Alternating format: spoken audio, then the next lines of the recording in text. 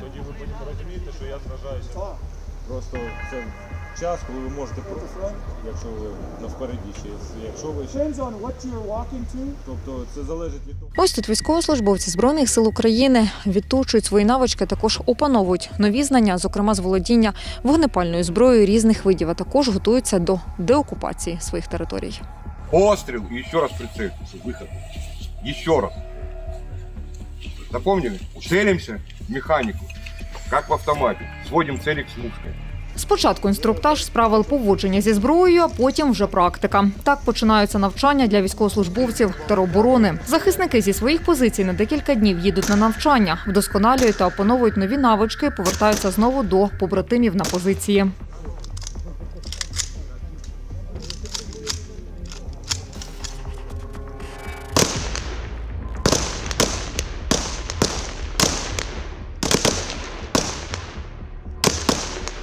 Вот сейчас будете стрелять второй раз, после даже второго раза мы ничего крутить там никому не будем, э, будем еще смотреть.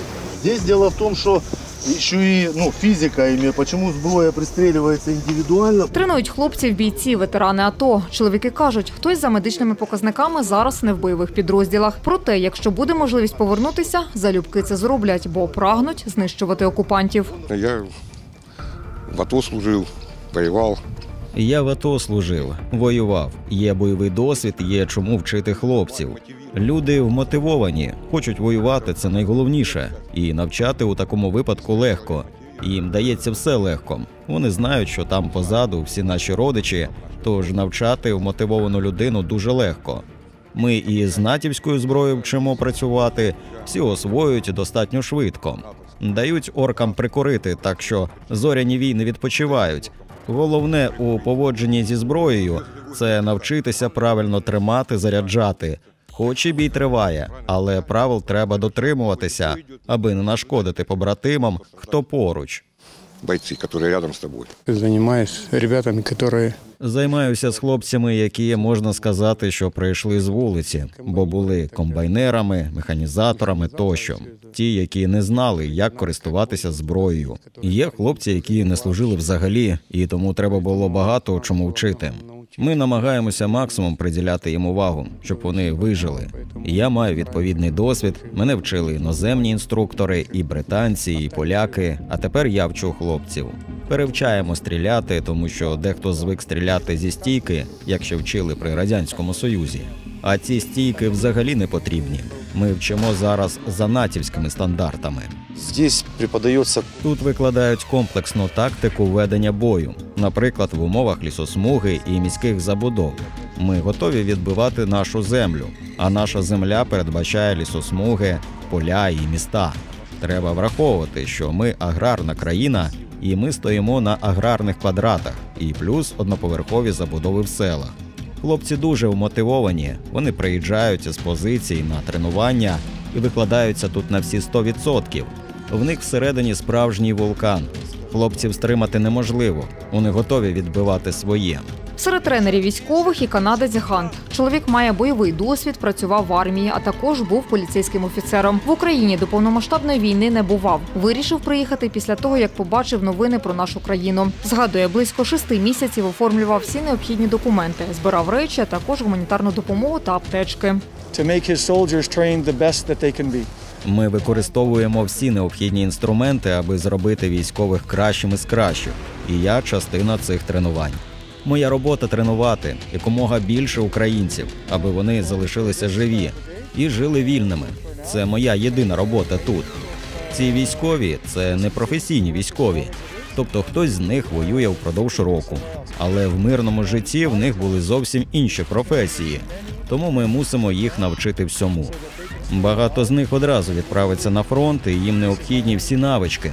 І якомога швидше ми вчимо тактичному бою, маскуванню, володінню з різною технікою, зброєю, а також лідерські якості. Військових, які ми вчимо сьогодні, це не просто військові. Ми їх готуємо як інструкторів, аби вони навчили далі своїх побратимів. Військові воюють впродовж 12 місяців і більше у дуже складних умовах, і їх треба тренувати. Вони можуть періодично приїжджати на тренування за знаннями, а деякі опановувати з нуля. Для мене важливо, що я навчаю бійців, а ці знання вони зможуть передати далі і навчити якомога більше бійців і швидко. Це дуже важливо. Я маю бути саме тут, в цьому місці, тому що я знаю, що я тут можу бути корисний і зробити багато чого для військових. Хант каже, хоче зустріти перемогу з українськими військовими, повернутися додому та вже разом з родиною приїхати до вільної України. Та аби пришвидшити перемогу, бійцям потрібна зброя та амуніція, наголошує канадець. Будь ласка, зрозумійте, якщо ви висилаєте лише їжу і одяг, а не кулі, бронежилети, захисні шоломи, зброю і танки, значить російські солдати будуть їсти вашу їжу і носити ваш одяг. Цивільне населення може отримувати гуманітарну допомогу тільки завдяки тому, що українські захисники, я сподіваюся, потрібні амуніції своїм життям захищають цивільне населення. Я трохи злюся, коли люди в Канаді кажуть, що ми тільки будемо висилати гуманітарну допомогу, а не зброю. Більшість країн підтримують Канаду, підтримують Україну, але багато людей думають лише про мир. Але мир можна досягти лише за допомогою зброї. Це сумно, але це правда. Стріляти зі стрілецької зброї тренується запорізький військовий на позивний Лєший. Каже, до лав територіальної оборони приєднався від початку повномасштабної війни. Бойового досвіду до цього не мав. 25 лютого поїхав до територіального центру комплектування та соціальної підтримки одразу з роботи. За понад рік великої війни був у боях на Донецькому та Запорізькому напрямках.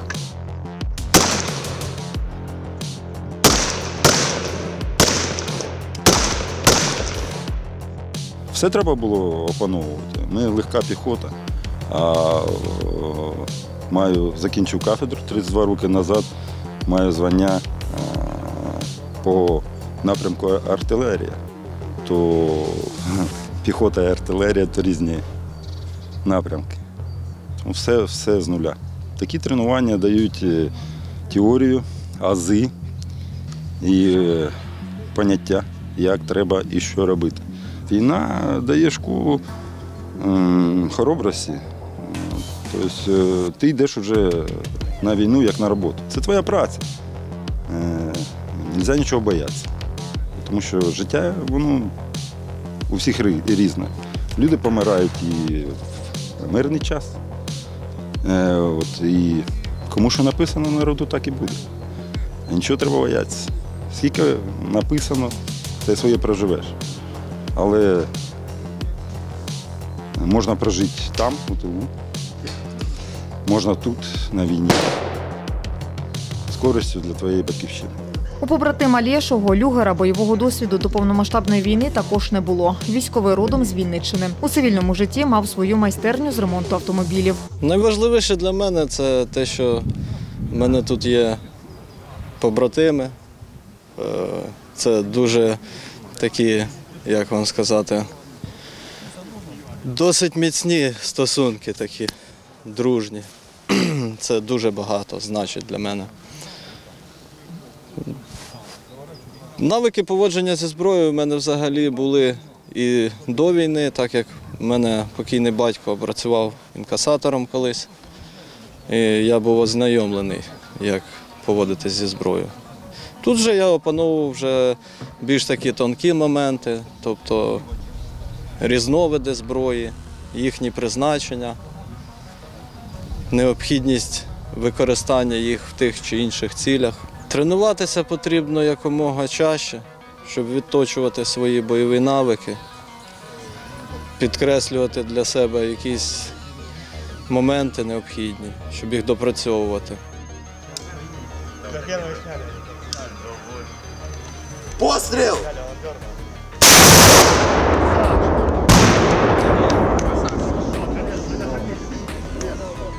Свій перший кулеметний постріл під час тренувань здійснив запорізький військовослужбовець на позивний боксер. Чоловік каже, від початку повномасштабної війни волонтерив, але торік влітку вирішив приєднатися до лав територіальної оборони. Мама поставилась дуже скептично спочатку, та й зараз переживає, але вже трохи легше. Але підтримали, підтримали і мою ідею та моє бажання, що я їм вдячний. За понад рік повномасштабної війни брав участь у боях на Донецькому напрямку.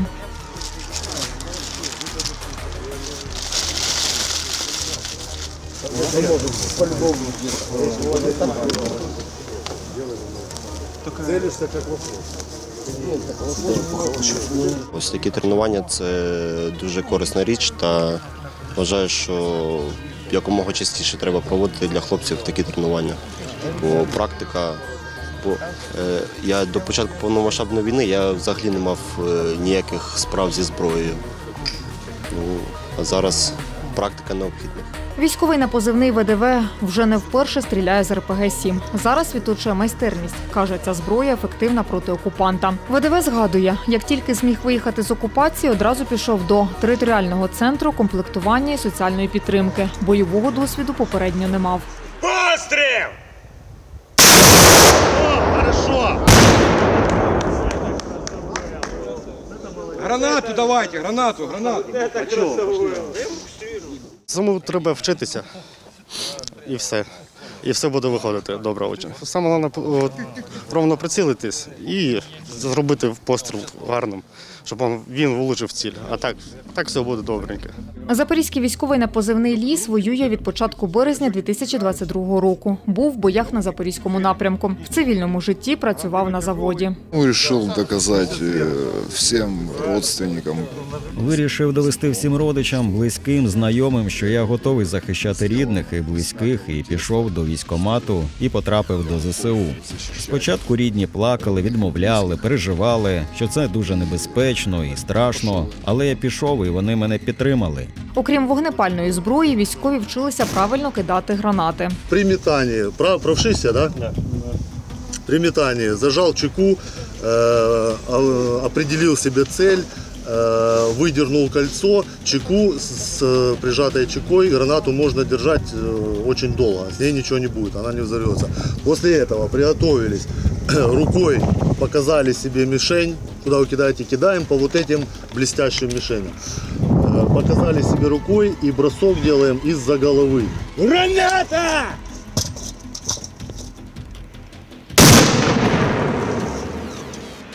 Окрім того, що військовослужбовці відточують майстерність володіння різноманітною зброєю, вони ще опановують знання, як бути інструкторами, а далі передаватимуть їх побратимам.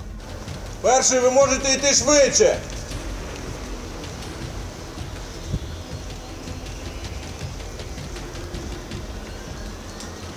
Now, because we want to go. повертатися на наш полігон.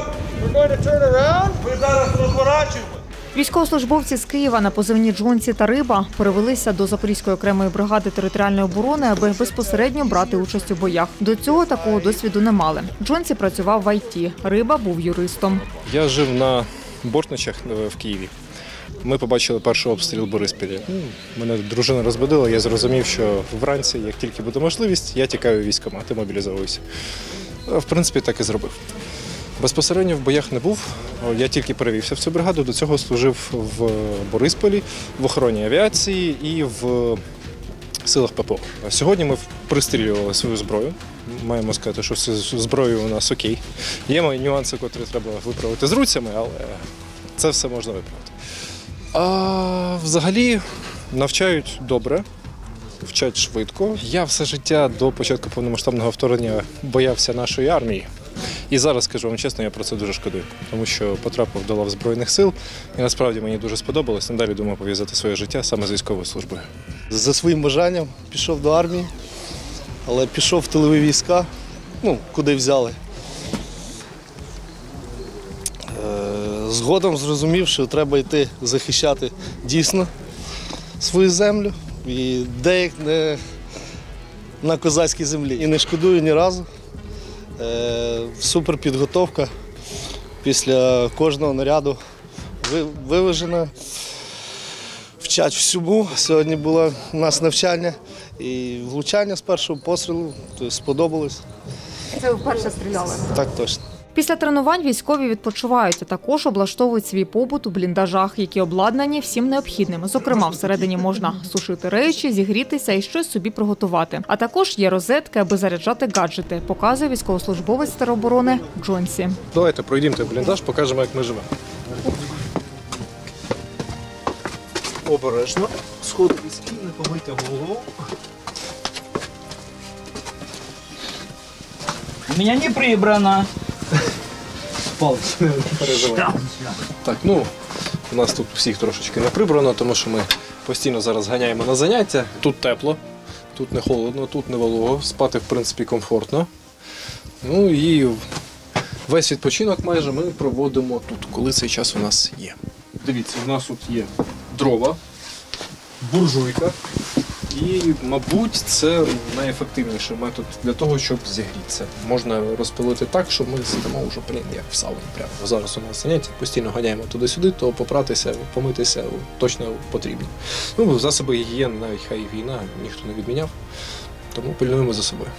Кожен із бліндажів має свою назву: Арсенальна, Тараса Шевченка, Героїв Дніпра тощо. Відтепер це назви не лише станції столичного метро в Києві, а й тимчасового житла військовослужбовців Запорізької окремої бригади тероборони. Захисники жартують, що скоро обладнають підземну мережу, якою можна буде пересуватися від станції до станції.